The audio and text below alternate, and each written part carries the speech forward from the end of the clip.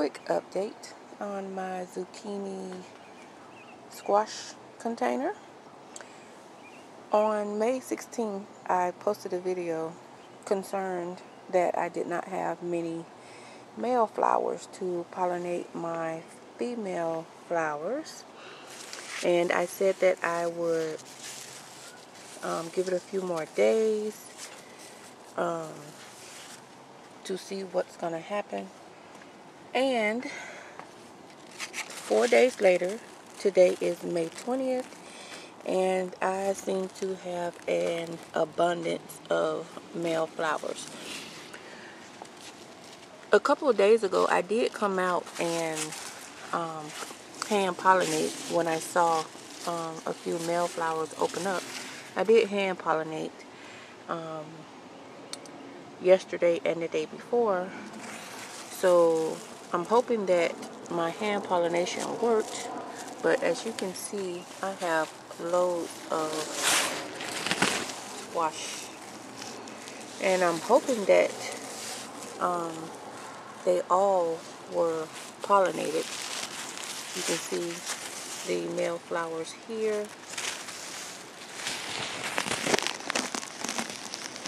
And here is a couple here.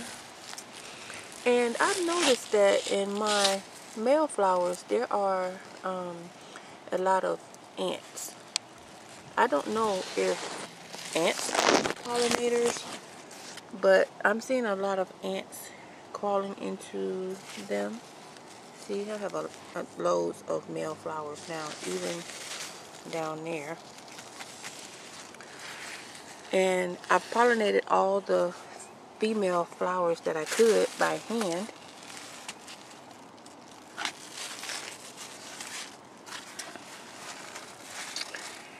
And I've also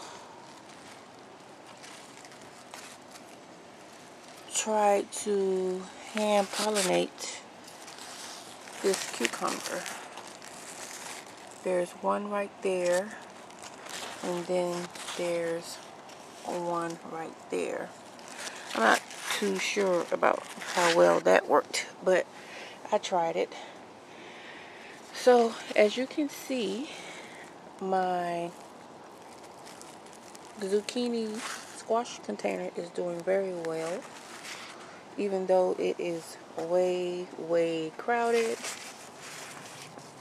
I pollinated um, I think this one, I pollinated this one yesterday. I think I'm going to try and pollinate this one as soon as I'm done with the video. But there's loads of male flowers. But I'm hoping that most of all of these zucchini took. Another one right here that's getting ready to open. I'll probably hand pollinate that one as well. But I just wanted to give you guys an update.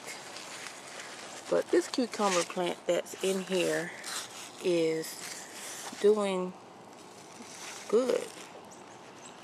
Um, like you see, it has two cucumbers on it. And I did try and pollinate it. So we'll see what happens with that. And I'm going to get down in here and show you my zucchini you can see it here. There's one there. And there's one over here. There's one right there.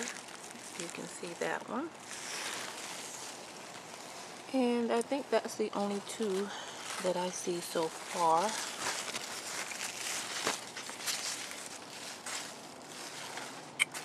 But there is an abundance of um, squash plants. And I'm happy about that. Now, um, something else I wanted to get an opinion from you guys on my cucumber. You see, I tried to make a makeshift trellis there. It did not work because the plant is too heavy for it. So it's started um, sprawling out of the container which I don't mind but um